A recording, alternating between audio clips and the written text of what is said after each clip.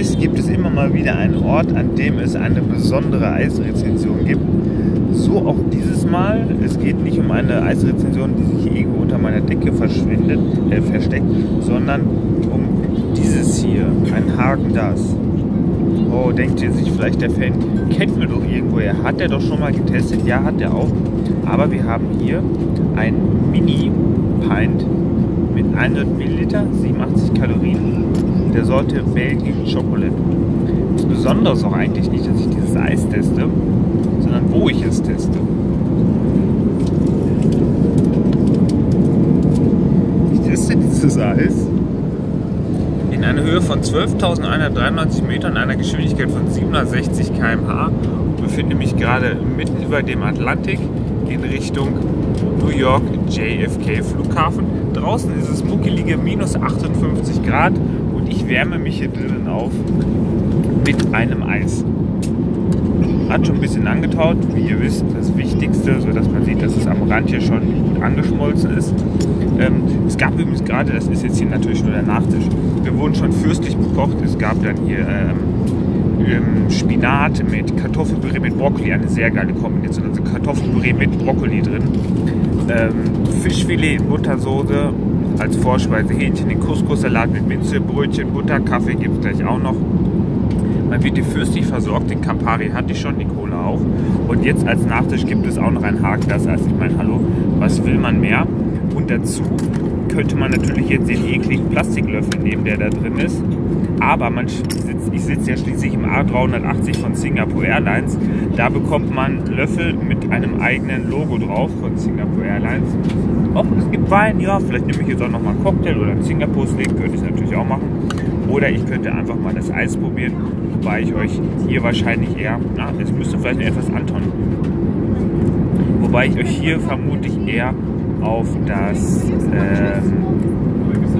mal eben kurz aufpassen hier, ich werde hier gleich nach Kaffee gefahren. Einen Moment, mal kurz, mal einen kurzen Break. Jetzt bekomme ich gleich auch meinen Kaffee und dann passt das mit dem Eis natürlich noch viel besser. So kann das jetzt hier auch noch einen Moment antauen.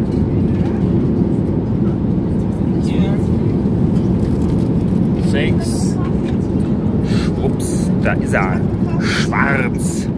Der Kaffee. Und der ist echt gut hier oben bei Singapore Air. So wie eigentlich alles.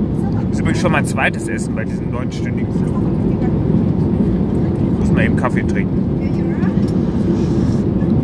Oh, scheiße ist der heiß, ey. Ich meine, ist jetzt hier zu Hause nicht. So, das Hagen das Eis. Ihr kennt hoffentlich auch die Hauptrezension, wo ich das ganze große Pint teste. Ich fand es ja ganz gut. Wurde ja auch von Stiftung Warentest als bestes Schokoladeneis getestet. Ja.